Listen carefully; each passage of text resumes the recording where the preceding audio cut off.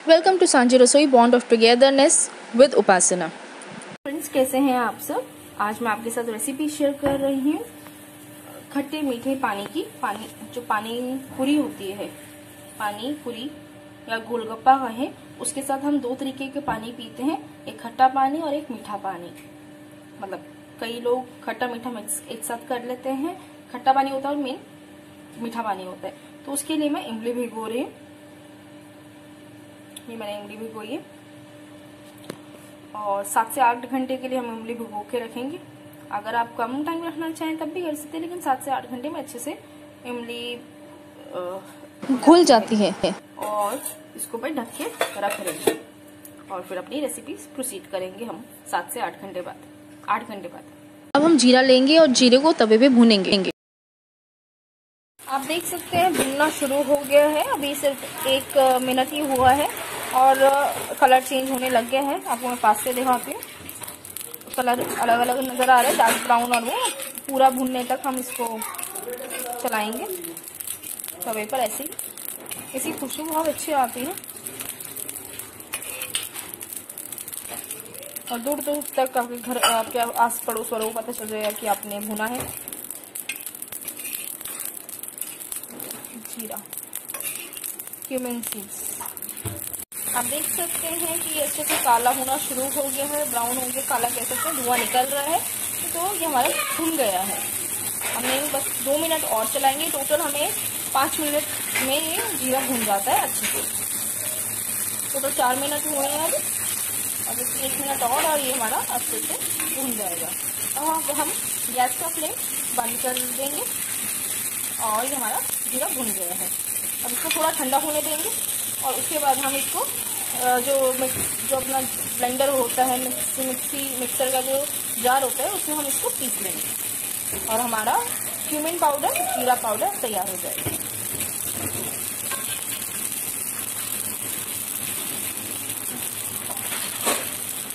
देख सकते हैं आप, अच्छे से भून गया है। मैं आपको दिखा देती हूँ, पास से।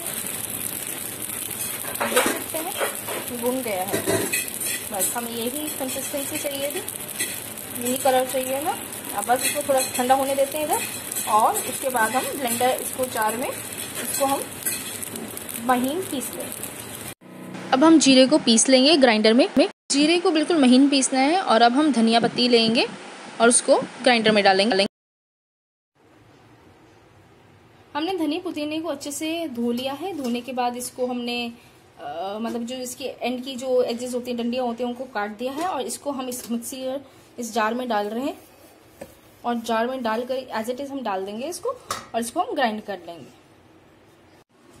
सो so, अब हमने ये इमली का गुद्दा लिया है। ये इमली का पानी है जिसके अंदर हमने भिगो कर रखा था और ये मैंने पतीला लिया है।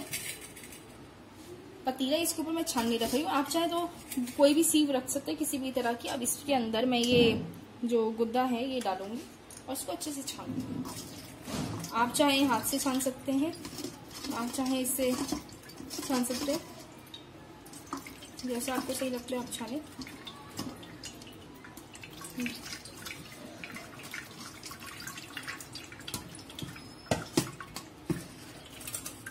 देख सकते हैं, अच्छे से निकल रहा है पानी नीचे, आप नीचे से भी देख सकते हैं।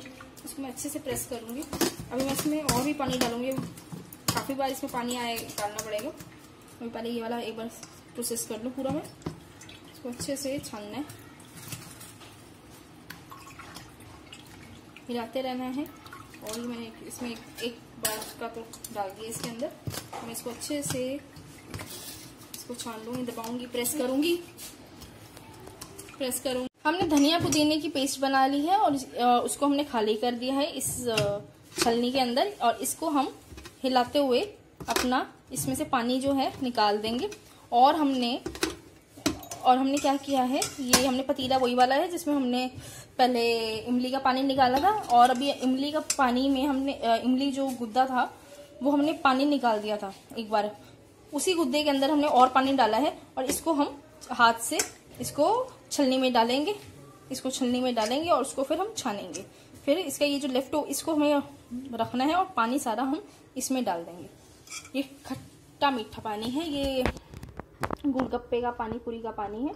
तो अभी हम इसको हिलाते हुए चटनी को, इसका जो पानी है, इसके अंदर हम डाल रहे हैं। और हल, हल्के हाथों से करेंगे और इसको डैप करेंगे और निकालेंगे पानी।